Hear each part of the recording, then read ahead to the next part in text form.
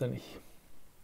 Ein Aufbäumen beim Dow Jones und wenn es nur ein winziges ist, gab es eben gerade zur Eröffnung, man sieht es hier im 15-Minuten-Chart, immerhin ging der Kurs hier ein bisschen nach oben. Das ist noch nicht wirklich der Burner, aber immerhin zumal, zumindest mal kein ganz schlechtes Zeichen, denn der Kurs hat ja wenigstens mal was nach oben versucht.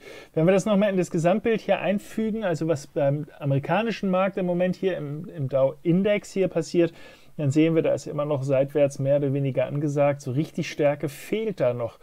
Und jetzt wird es spannend sein, ob die Marktteilnehmer sich vor dem Wochenende hier committen und auch wirklich die Position behalten wollen oder ob es dann gegen Ende der heutigen Handelssitzung dann doch wieder zu Gewinnmitnahmen kommt. Denn wie sieht's aus? Will man Positionen über ein Wochenende aktuell behalten oder sagt man, ich bin froh, wenn ich das weg habe und das Risiko nicht noch über so eine lange Zeit dann behalten muss?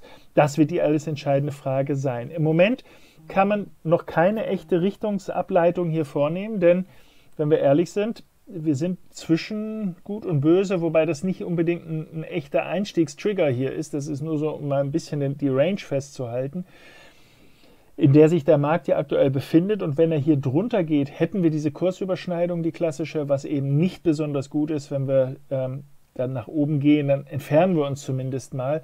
Und dann wäre aus meiner Sicht auf der kleineren Zeitebene dann natürlich zu gucken, ob wir dann irgendwie so ein typisches Verlaufsmuster wieder bekommen und dann noch eben mal einzusteigen mit hoffentlich Zielen, die dann tatsächlich nach oben nochmal weisen und dann ja vielleicht auch die Allzeithochs hier nochmal rausnehmen.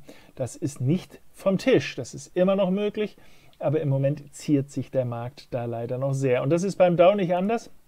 Der hat nämlich auch nicht, äh, beim DAX, Entschuldigung, auch nicht anders, denn der hat nicht wirklich Lust heute. Wir sehen, das ist die Bewegung so der letzten zwei Tage, also gestern und heute, und da sehen wir noch nichts gekonnt, das Ganze. Nachdem wir hier so ein bisschen aufwärts gegappt hatten gestern, hat der Markt eigentlich gesagt, ach, da ruhen wir uns auf den Lorbeeren mal aus.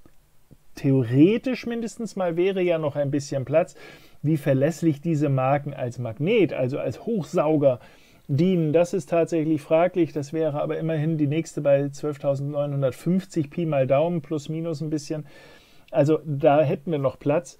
Aber vorsichtig, solche Marken, die sind nur indikativ, wo Leute hingucken, sollen wir Gewinne mitnehmen oder nicht. Das ist keine Aussage, dass, oh, da liegen Linien, da muss der Markt noch hin.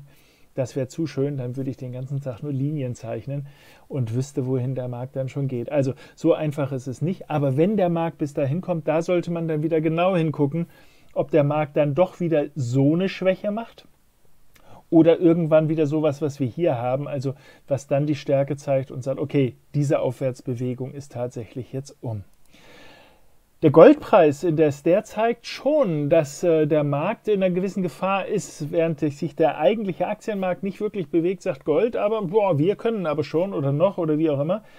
Also das ist eine echte Schubbewegung nach oben. Es ist noch nichts Wirkliches, was Deutliches getriggert auf Tagesbasis. Das liegt ja noch ungefähr bei 1500 35 in etwa hier den Zwischenhoch, was wir im September hier hatten.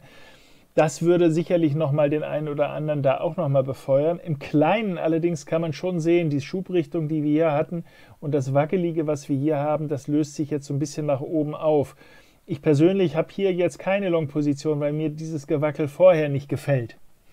Da kann man sagen, ja selber schuld worden, wenn du es nicht hinkriegst, aber das ist nicht jetzt unser Stil. Trotz alledem, das kann sich ja jederzeit auch im Laufe des heutigen Tages nochmal verbessern. Na, nicht unbedingt so, sondern wenn der Kurs eben ein bisschen wackelig hier mal runterkommt, trendkanalmäßig ABC, irgendwie sowas in Richtung Korrektiv, dann hätte man ja genügend Anlass dann zu sagen, hey, cool, dann machen wir doch das. Insbesondere wenn das dann äh, einhergeht mit der Aktienbörse, aber das muss es nicht unbedingt. Dass das Ganze nicht zwingend eine Bewegung ist, die sich jetzt auf den US-Dollar bezieht, sondern wirklich auf das Gold, das kann man sehen, wenn man im Gegenzug hier den Euro sich mal anguckt, denn der Euro gegen den US-Dollar, der fällt aktuell. Was ich ebenfalls gar nicht schlimm finde, wir hatten mehrmals schon darüber gesprochen, dass wir eine realistische Chance haben, dass der Kurs jetzt endlich mal hier die Schleusen nach oben hin aufmacht. Super, toller Schub nach oben. Die Zählweise ist fragwürdig. Man kann sich das zurechtlügen über das Stichwort Leading Diagonal.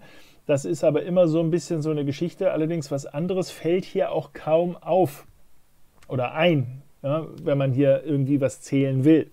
Muss man aber nicht. Wer zählfaul ist oder sowieso nichts von den äh, Zahlen hält, der muss das nicht tun.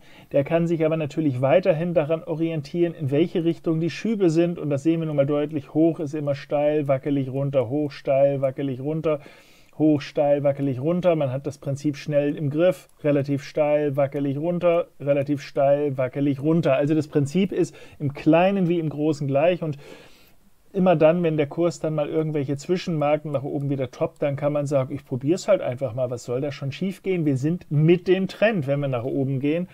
Und die Abwärtsrichtung, die wir hier jetzt in diesem letzten Trendende hier jetzt haben, im 15-Minuten-Chart, die ist ja insgesamt gesehen nicht wirklich überzeugend. Im ganz Kleinen, wer jetzt sehr klein unterwegs sein mag, der kann natürlich sagen, pappelapapp, da bewege ich mich nochmal auf der Short-Seite. Aber wie gesagt, das ist dann wieder eine klassische Bewegung auf der ganz kleinen Zeitebene.